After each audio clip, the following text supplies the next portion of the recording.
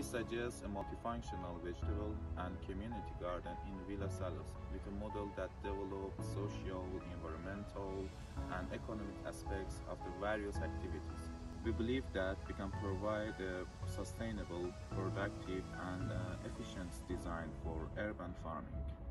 Taking this challenge gives us the opportunity to see how it's like to perform a real practical project in urban agriculture. Whether it's combating pollution, producing fresh vegetables, or designing environmentally sustainable buildings, we will have the chance to develop a solution with our team that would improve the lives of people in Bologna.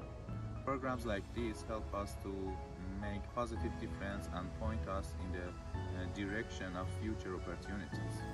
In addition, we can be familiar with other uh, proposals so we can understand uh, how beneficial our concept is.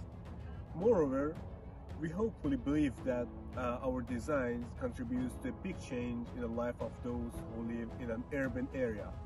By participating in a competition managed by the university and third-party organizations, we have a new opportunity to show our talent and apply our skills.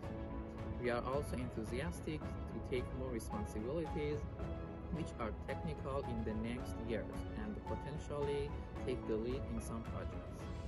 We are fascinated by this project and we would like to be seen as a group with expertise in the green energy sector and we also look forward not to pass up this precious chance.